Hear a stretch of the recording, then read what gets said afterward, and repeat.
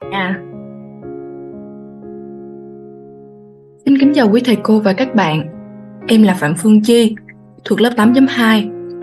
Hôm nay, em xin gửi tặng tới các bạn kiếm thị một câu chuyện mang tên Gieo, câu chuyện về sức mạnh của những lời nói yêu thương của tác giả Braden Walden. Chắc hẳn các bạn đã từng một lần nghe được câu nói lựa lời mà nói cho vừa lòng nhau. Nhưng liệu đã từng có ai suy nghĩ rằng tại sao chúng ta cần phải làm như vậy? Lời nói có sức, nặng và sự tác động nhiều hơn chúng ta tưởng tượng đấy. Đó cũng chính là ý nghĩa chính mà tác giả Braden đã gửi gắm thông qua cuốn sách này. Mời các bạn hãy cùng suy ngẫm về điều đó trong khi lắng nghe câu chuyện gieo câu chuyện về sức mạnh của những lời nói yêu thương.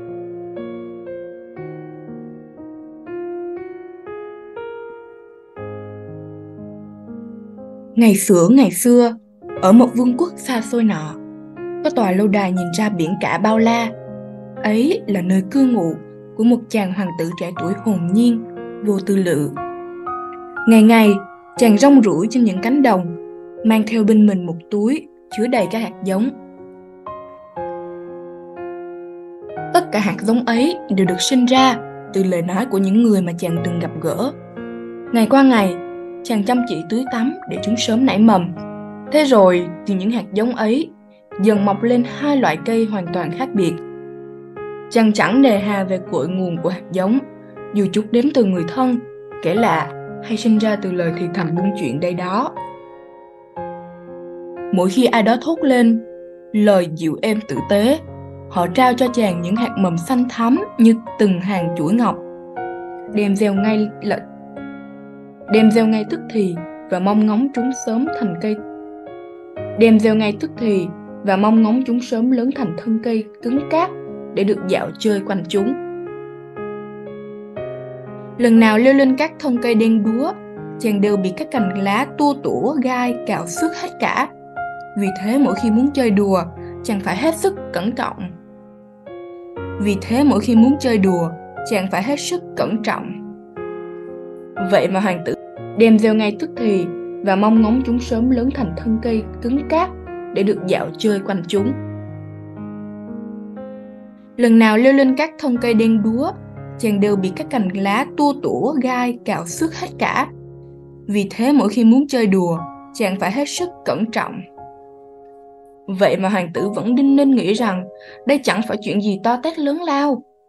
Rằng leo trèo vui đùa với cây cối và bị xây xước là điều quá đổi bình thường mà. Còn hễ khi nào đến bên những hàng cây xanh rì, hiền hòa, chàng bỗng cảm thấy lòng mình êm dịu, các vết thương cũng như thể được chữa lành.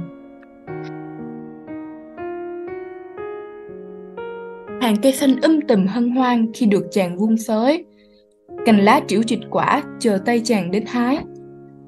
Hoàng tử nhỏ khoan khoái dạo chơi quanh những thân cây xanh mát, có khi chàng còn leo lên tầng ngọn cây ngã lưng trên cành. Khi khác, chàng say mê chơi trốn tìm đuổi bắt với biết bao vui sướng. Tháng năm qua đi, hoàng tử bỗng nhận thấy rằng hàng cây xanh rì càng lúc càng yếu dần, thân cây mong manh hơn, cần gia cố, đỡ đần. Nhìn kỹ, chàng phát hiện đất trồng trở nên cằn cỗi từ bao giờ. Vòng cây xanh cớm nắng ngày càng còi cọc vì bị đám cây đen lấn ác Ngẫm nghĩ lại, bấy lâu nay, chàng thường trồng xen kẽ cây xanh an lành và cây đen xấu xa, rồi để chúng tự tranh đấu sinh tồn. Cây xanh đầy sức sống trong ánh sáng ban ngày, còn cây đen thì mạnh mẽ khi bóng đêm đổ về.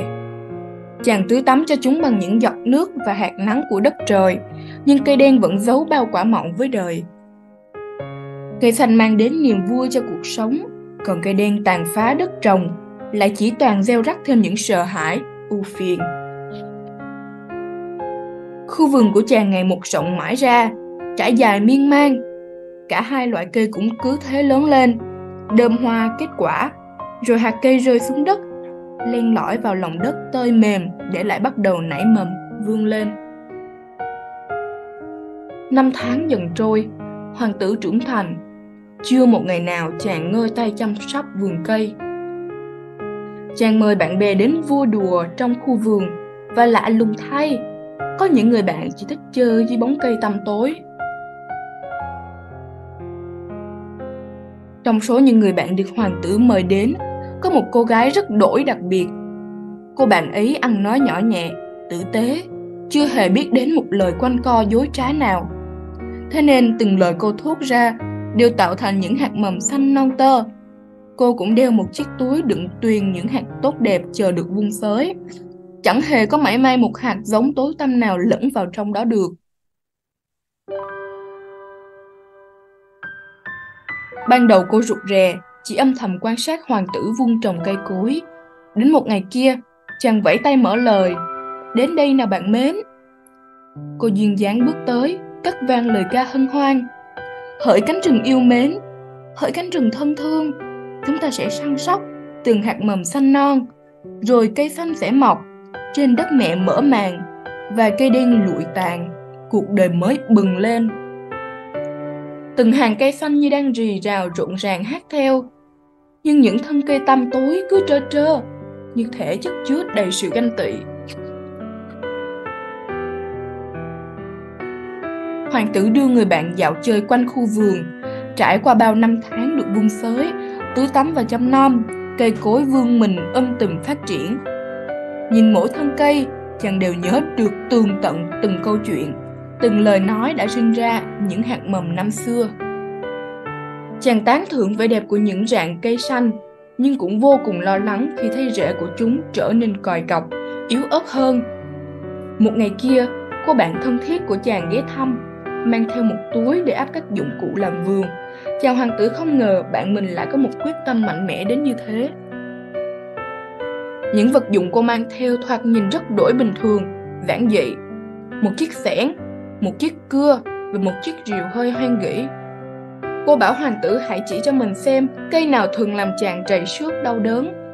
Vốn trước nay vẫn vờ như không bận tâm đến những thương tổn ấy. Chàng bèn chọn một thân cây đen đúa mảnh khảnh. Cô gái dặn dò, chàng nhìn nhé.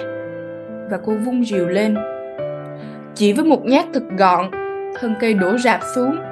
Chưa ngừng ở đó, cô bắt đầu đào quanh rễ cây, sâu xuống, sâu mãi.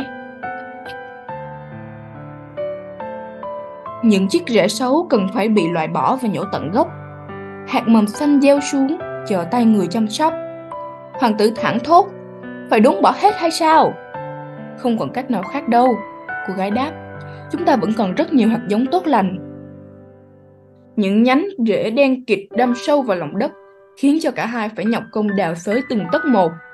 Rễ đen quấn chặt lấy rễ xanh, thế nên cô gái phải hướng dẫn hoàng tử cẩn trọng tách chúng ra. Tất thải dụng cụ cô mang theo như rìu, phẻn, cưa và các thứ khác đều rất hữu ích. Ngày qua đi, đêm xuống, rồi bình minh ló dạng, cả khu rừng ngát xanh, chẳng còn chút bóng dáng nào của những hạt giống không thiện lành. Xong xuôi, cô bạn tặng lại cho hoàng tử toàn bộ dụng cụ để chàng tiếp tục chăm sóc cây cối. Rồi cô dặn chàng hãy mang hết tất cả hạt giống u ám xấu xa còn lại trong túi, vứt, vứt hết xuống vách đá bên bờ biển. Rồi cô dặn chàng hãy mang tất cả hạt giống u ám xấu xa còn lại trong túi, vứt hết xuống vách đá bên bờ biển. Chàng làm theo lời khuyên chân thành ấy. Từ đó, chàng rong ruổi vó ngựa khắp muôn nẻo núi đồi đến những phương trời mới, cùng chiếc túi âm ấp đầy hạt giống của niềm vui. Hỡi cánh rừng yêu mến, hỡi cánh rừng thân thương, chúng ta sẽ chăm sóc từng hạt mầm xanh non và cây xanh sẽ mọc trên đất mẹ mở màng, rồi cây đen lụi tàn, cuộc đời mới bừng lên